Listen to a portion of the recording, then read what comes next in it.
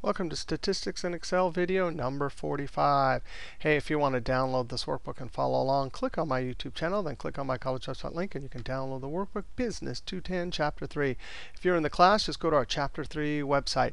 Hey, we just got done talking about Z, Z-score. Remember, standard deviations above or below the mean. So you had you were 1.67 standard deviations above, and your sister was minus one standard deviations.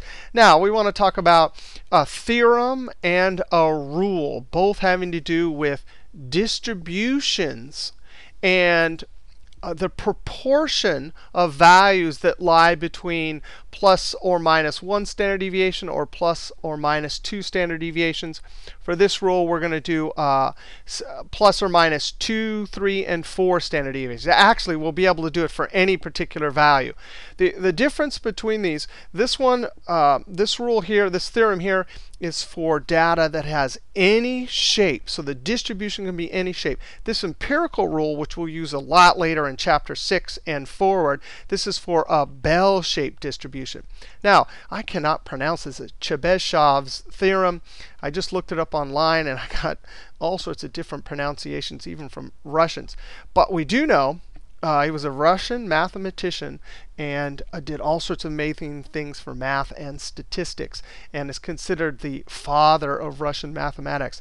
Ah, but this theorem, very powerful, allows us to make a statement about the proportion of data values that must lie within a specific number of standard deviations of the mean. Oh, that's exactly what we were talking about with our z-score in last video.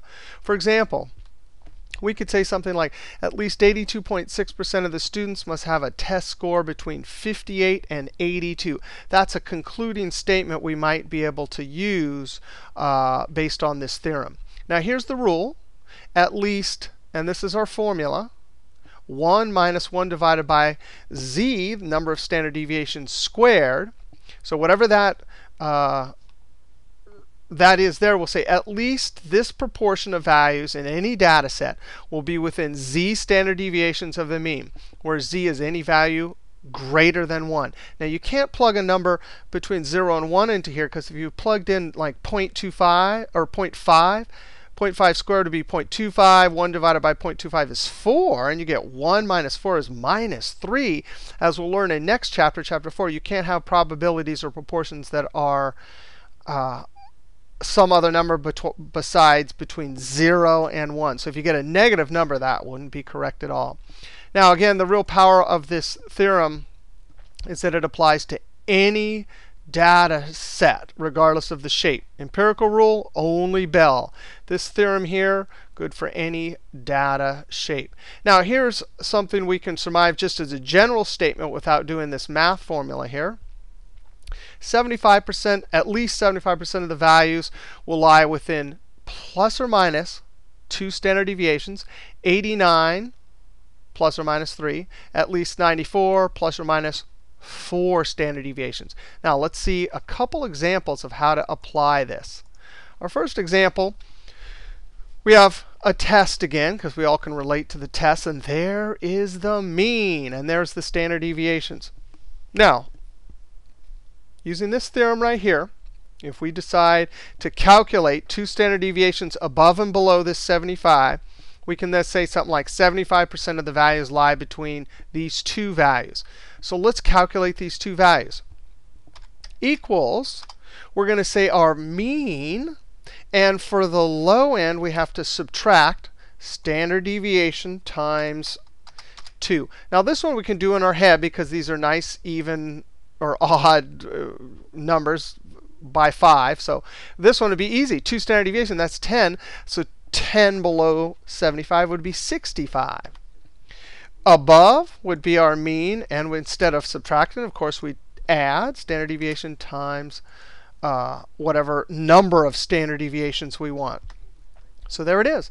We have our two values, our bookends, and we can say at least 75% of the values lie between these two. And that's irregardless of the shape of the distribution. That's pretty powerful because uh, later, even though this is an amazing, uh, powerful rule and other related rules to the empirical rule, that's only bell shape.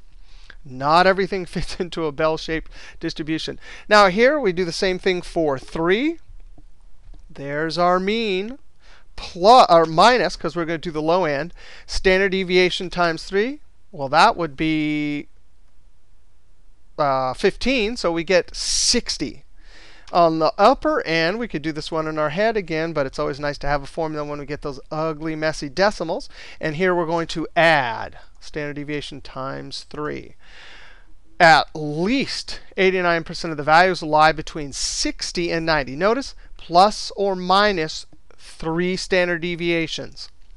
And finally, we could say something for 4 we have to calculate our low end. We'll subtract, whoops, if only I could type, whatever the standard deviation is times 4. So there's four of them. That'll give us 55. And then on the upper end, we add a bunch of standard deviations. Four standard deviations at uh, width of 5 each. So then we say at least 94% of the values lie between those two. That's pretty helpful when we're talking about statistics and distributions. Now let's go down here. We'll blow this up a little bit and do. Uh, whoop.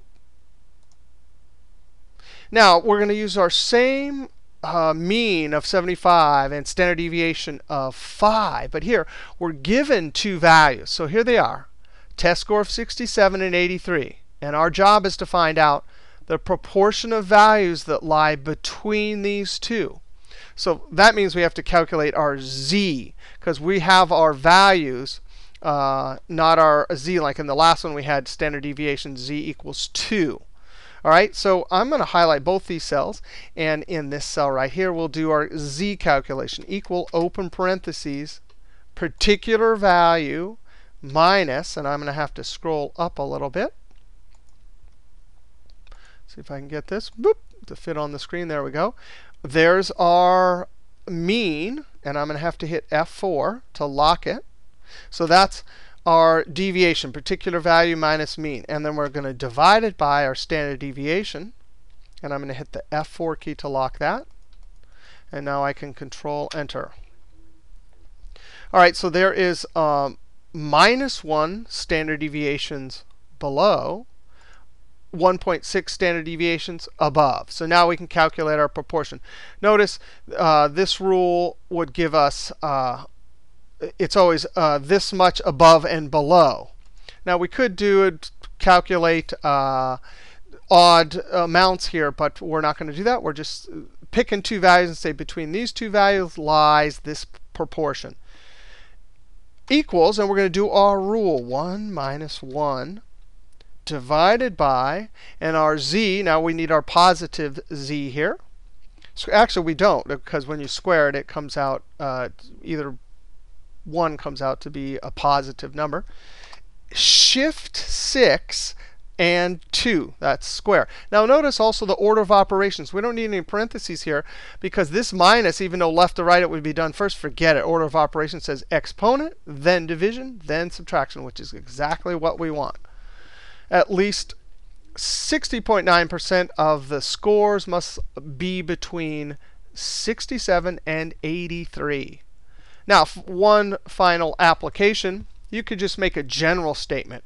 According to Chebyshev's theorem, at least what percent of any data set will be within 1.8 standard deviations of the mean? Hey, we just already have our uh, z-score here.